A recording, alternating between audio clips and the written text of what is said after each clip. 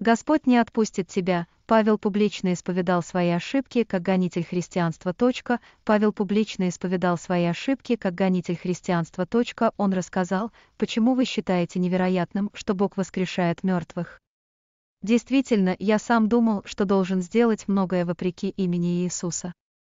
Назарет. Это я тоже сделал.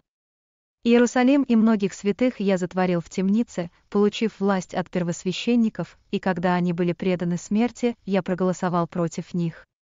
И я часто наказывал их в каждой синагоге и заставлял их богохульствовать, и, разгневавшись на них, гнал их даже в чужие города Деян. 26, 8 дефис 11 Однако Павел объяснял далее свой преображающий опыт со Христом и говорил, «В полдень, царь, я увидел на дороге свет с неба, более яркий, чем солнце, сияющий вокруг меня и путешествующих со мной. И когда мы все упали на землю, я услышал голос. Говорящий со мной и говорящий на иврите, «Савл, Савл, что ты гонишь меня? Тебе тяжело бить козлов». Так что я спросил, кто ты, Господи? и сказал, «Я Иисус, которого вы гоните. Но встаньте и встаньте на ноги ваши, ибо я явился вам для того, чтобы сделать вас служителем и свидетелем и того, что вы видели, и того, что я еще открою вам Деяния апостолов 26,13-16. Урок Иисус Христос принимает людей, которые обращаются к Нему за спасением, Он никогда никого не отвергает. Независимо от прошлых неудач, Христос простит кающихся грешников, Он не обратит внимания на все их грехи и очистит их. Христос наградит своих святых новой жизнью и новым именем.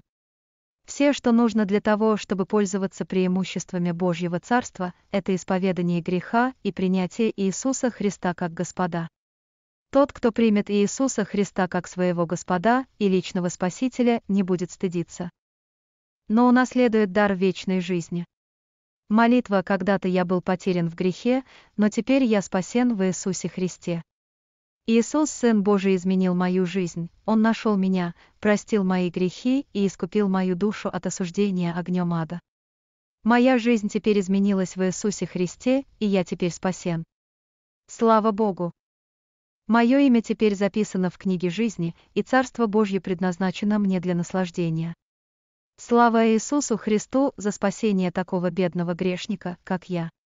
Я прошу Господа Иисуса Христа дать мне благодать, чтобы я оставался небесным достойным. Аминь.